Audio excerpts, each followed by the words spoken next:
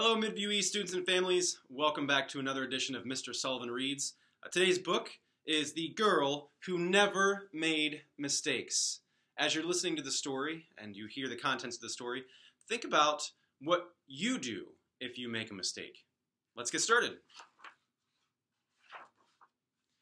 For Beatrice Bottomwell, Friday began like any other day.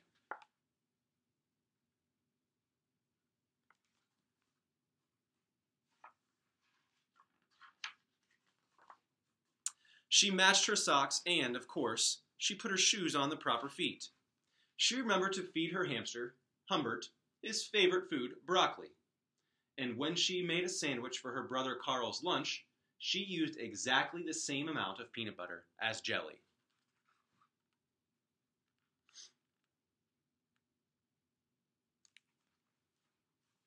When she stepped outside to greet her fans, she didn't forget to say good morning and thank you.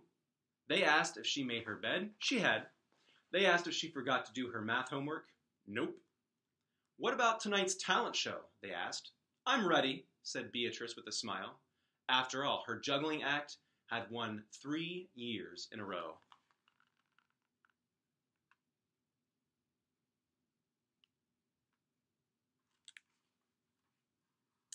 Most people in town didn't even know Beatrice's name. They just called her the girl who never makes mistakes, because for as long as anyone could remember, she never did. Unlike Beatrice, Carl made lots of mistakes. He ate his crayons and drew with his green beans. He danced with his hands and played the piano with his feet. Carl loved to make mistakes.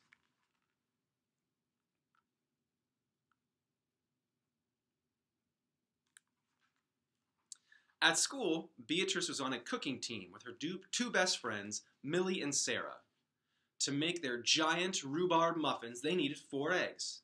Beatrice went to the refrigerator and carefully chose the biggest, eggiest eggs she could find. But on the way back, her legs slipped out from under her. The eggs went flying. Beatrice was about to make her first mistake.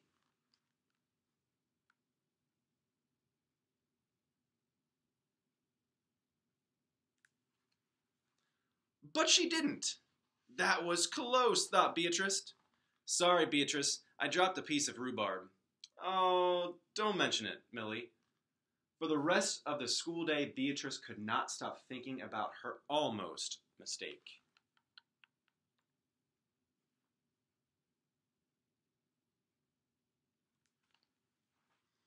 On her way home from school, Beatrice watched Millie and Sarah ice skating in the park. Come join us, said Millie. It's fun, said Sarah. Beatrice watched them slip and slide on the frozen pond. Millie and Sarah laughed as they wobbled on the ice. No thanks, said Beatrice. At supper, Beatrice barely touched her food. Is everything all right, kiddo? asked her father. I'm worried I'll mess up tonight, said Beatrice, and everyone will be watching. Worry? You don't make mistakes, he said with a smile. Beatrice tried to smile too.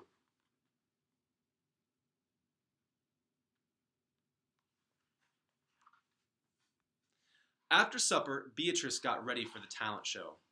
First, she woke up Humbert from his nap. Next, she got the salt shaker from the kitchen table. Finally, she filled a water balloon with water. The school auditorium was packed. Beatrice felt her stomach jumping around inside her.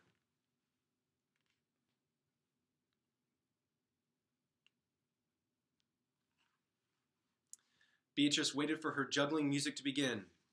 That's her. That's the girl who never makes mistakes, said a woman. Oh, we know she'll be perfect, said a man. When the music started, she tossed Humbert into the air. Next, she added the salt shaker, and finally the water balloon. Beatrice didn't miss a beat. The crowd clapped with delight. But Beatrice noticed something odd about the salt shaker. The specks falling out of it were not white.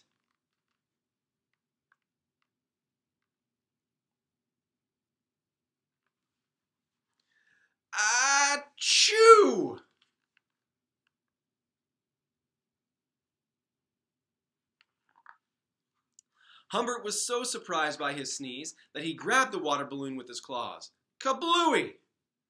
Humbert, pieces of water balloon, and the pepper rained down on top of Beatrice. For the first time in as long as anyone could remember, Beatrice made a mistake. And it was a big one.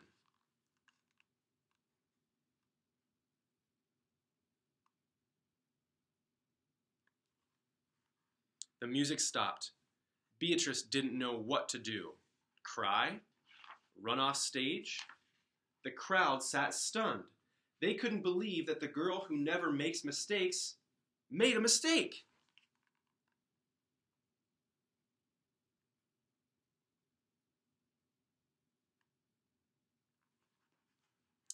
Beatrice looked up at Humbert. He looked back at her. His hamster fur was soaked and speckled with bits of balloon. Beatrice let out a big giggle. The giggle grew into a chuckle, and the chuckle became a laugh. The people in the crowd looked at each other and then back at Beatrice. They began to giggle, then chuckle, then finally roar with laughter. Beatrice and the audience laughed until they couldn't remember why they were laughing.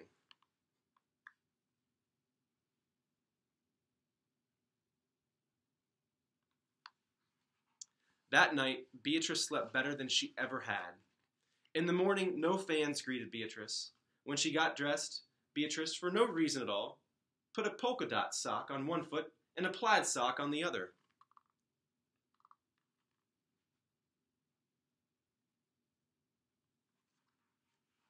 Beatrice and Carl made sandwiches. This time, they put the peanut butter and jelly on the outside. They called it an inside-out PB&J. Lunch was messy and delicious. Later, Beatrice found Millie and Sarah skating in the park. They fell a lot and laughed.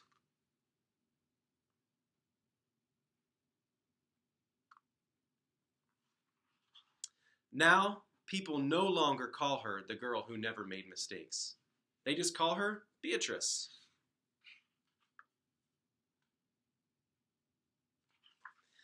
Well, I hope that you enjoyed that story today, The Girl Who Never Made Mistakes.